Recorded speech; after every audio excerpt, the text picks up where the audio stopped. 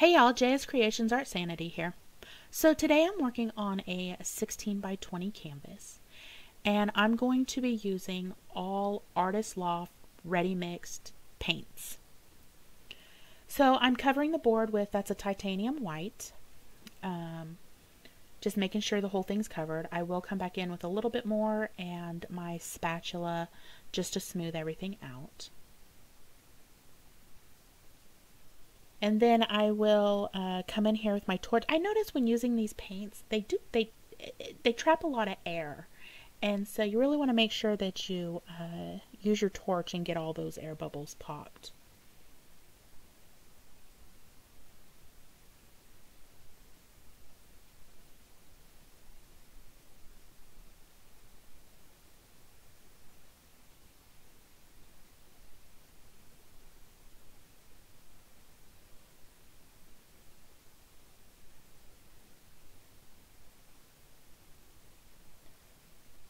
So I'm going to come in here at the top and pour some black across the top there because I'm going to do a swipe and I'm going to swipe down. And today I'm going to use, um, it's a plastic tool. I think it's for laying grout. Um, but you don't have to use this. It, this was just in my drawer and I grabbed it and that's what I'm using today. Usually I will just um, spritz the bottom half of a paper towel with some water and swipe with that. You can use a piece of plastic, cardboard, whatever you have with a straight edge will work. And so I just uh, keep swiping that until I'm happy with what I have. Um, and here I'm using the paint that is on there to just kind of make sure that my sides are all covered. Now, usually when when I use when I do a swipe with paints that I have mixed up, and I mix my paints with Floetrol and water, they will automatically make cells, um, especially after I hit it with a torch. These ready mixed paints, I that they don't do that. So I will come in here with the Artist Loft silicone oil. And I just put a little bit on that lid there. And then I use, uh, I'm not even sure what the tool is, um, that tool there. Um, it's rubber and two sides have teeth. Um, a small tooth and a, and a bigger tooth, and then the other two sides are just a straight edge. I am using the the uh, bigger tooth side, and I'm just dipping it in the silicone oil, and then just dotting it on my canvas, and you could see that it's now making the cells. And I just keep doing that until I reach the bottom of this canvas.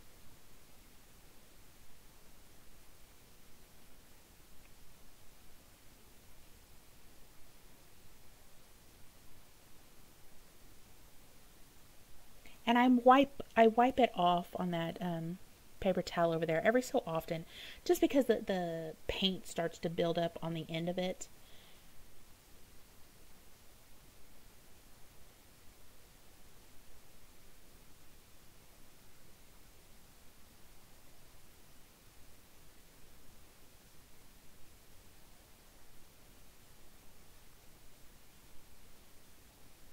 So yeah, I just keep doing this till the bottom of the canvas and then I bring you in for a close up. And these cells are so cool. They're just they're just perfect little little cells.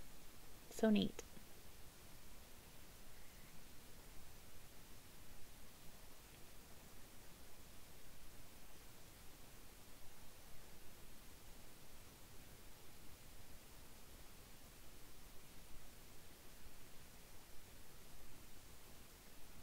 Here they are. Aren't those so cool?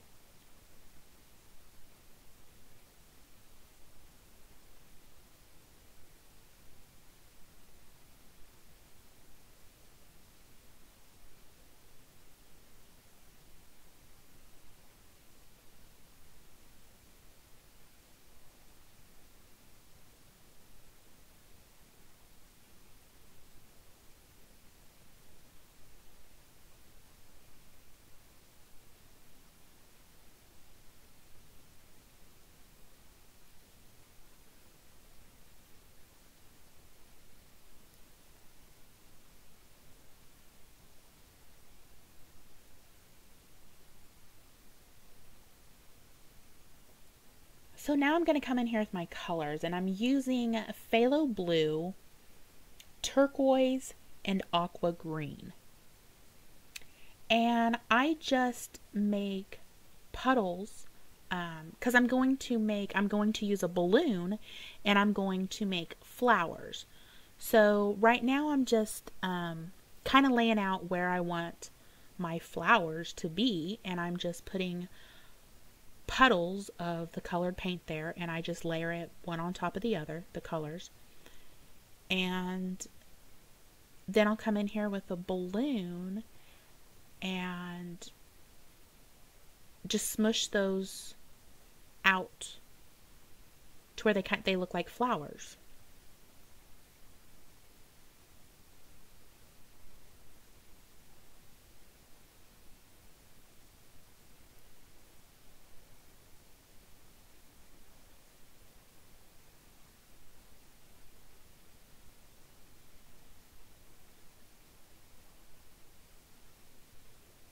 And here we go. And I just keep just keep doing that until I I like what I have. Now I don't wipe the balloon off after every dip. Um, I do it after around two or three. Just um, I just want to make sure that I don't muddy my colors.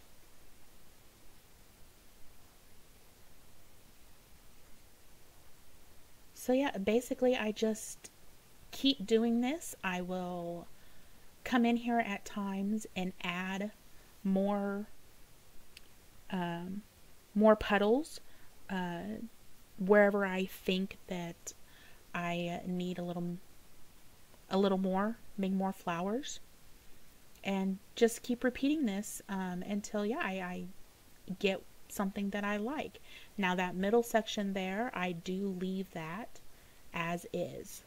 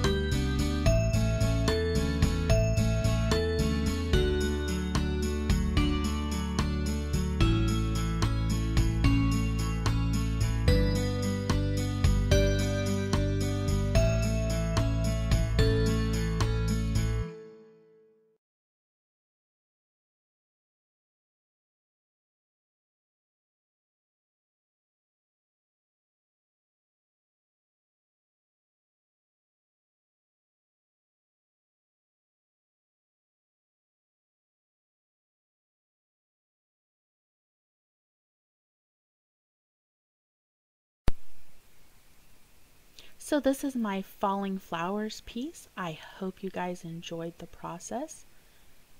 Thank you so much for watching. I will have all the supplies listed in the description. Please like, share, and subscribe. And leave me a comment. Let me know what you think of this piece.